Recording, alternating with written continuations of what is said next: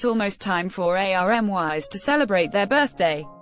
In celebration of the big event, fans are banding together to help out those in need. July 9 marks the day BTS's fandom got their official name, ARMY.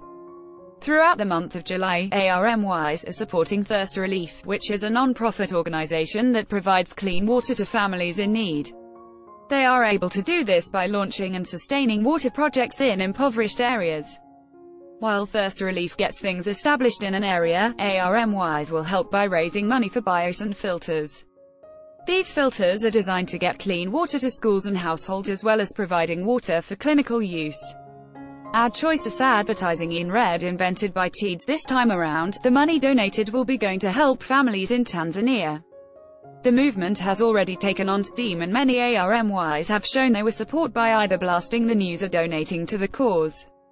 It has already gained so much attention that within 20 minutes of being announced the campaign had raised enough money for one filter and within a few days, ARMYs had already raised enough money to be able to provide an entire village with clean water.